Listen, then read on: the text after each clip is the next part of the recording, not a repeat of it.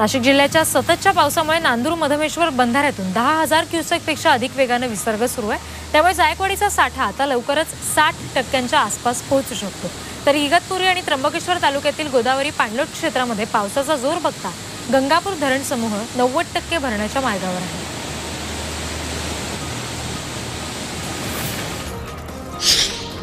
येवला तालुक्यातील अंदरसूल इथल्या शेतकरी रघुनाथ जगताप यांना यांनी दीड एकर मिरचीचं उभं पीक अक्षरशः उपटून टाकलंय.